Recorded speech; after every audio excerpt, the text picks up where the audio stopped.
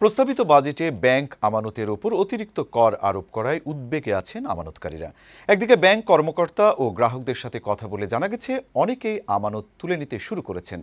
অন্যদিকে ব্যাংকার ও অর্থনীতিবিদরা বলছেন, আমানতকারীদের অর্থ পুঁজিবাজারে নিতে সরকারের এই কৌশল। এতে চাপে পড়বে মধ্যবিত্ত শ্রেণি। বিস্তারিত একরামুল আদনানের রিপোর্ট। দ্বারা সম্পূরক দাবি করেছে। দু হাজার সতেরো আঠারো অর্থ বছরের বাজেটে ব্যাংকে গচ্ছিত আমানতের উপর অতিরিক্ত কর ধার্য করার প্রস্তাবে ব্যাপক সমালোচনার মুখে পড়েছে সরকার। সংসদে বাজেট আলোচনায় সরকারি ও বিরোধী দলের সদস্যরাও এ নিয়ে ক্ষোভ জানান। এখন আপনি আসলে হাত দিচ্ছেন জনগণকে নিয়ে তামসা করতেছেন। আপনার জনগণকে পুতুল মনে করতেছেন। আমানতকারীরা বলছেন অ্যাকাউন্ট থেকে বাড়তি টাকা কেটে রাখা কোনোভাবেই গ্রহণযোগ্য নয়। স্বল্প আয় স্বল্প ইনকাম করি স্বল্প কিছু বেনিফিট রাখতে চাই সেক্ষেত্রে যদি আমি এক লাখ টাকা ইনভেস্ট করি বা এক লাখ টাকা রেখে দিই সেক্ষেত্রে প্রতি বছর আমার কিন্তু মাইনাস হচ্ছে আমার টাকা থেকে। আটশো টাকা করে যে সরকার কাঠার কথা বলছে যে অর্থমন্ত্রী যে এইটাকে বিবেচনা করা উচিত। সাধারণ আমানতকারীরা ব্যাংকে গিয়ে তাদের আমানতের খোঁজ খবর করছেন। ব্যাংকে নেতিবাচক প্রভাব পড়তে শুরু করেছে বলে জানান ব্যাংকাররা।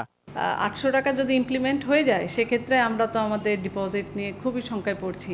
উনিশশো চুরানব্বই সালে আবগারি শুল্ক চালু করে বিএনপি সরকার। পরবর্তীতে তা কমানো হলেও ব্যাংক আমানতের উপর বহাল ছিল।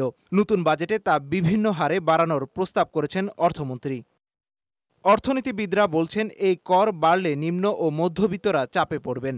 সরকারের এই উদ্যোগকে অর্থনীতির গবেষকরা দেখছেন আমানতকারীদের পুঁজিবাজারের দিকে নেয়ার কৌশল হিসেবে। আমার এই টাকাটা যদি শেয়ার মার্কেটে রাখতে পারতাম কি বন্ড মার্কেটে রাখতে পারতাম সেগুলো এখনও কিন্তু অত অ্যাট্রাকটিভ না সাধারণ মানুষের কাছে। বাজার সুস্থির অবস্থায় না থাকলে পুঁজিবাজারে এই অর্থটি যদি ডাইভার্ট হয় সেটি কিন্তু খুব ইতিবাচক হবে বলে মনে হয় না। পাঁচ লাখ টাকা পর্যন্ত আমানত আবগারি শুল্ক মুক্ত করার পরামর্শ এই গবেষকদের। অনেক সাধারণ মানুষকে সেটা এফেক্ট করবে না।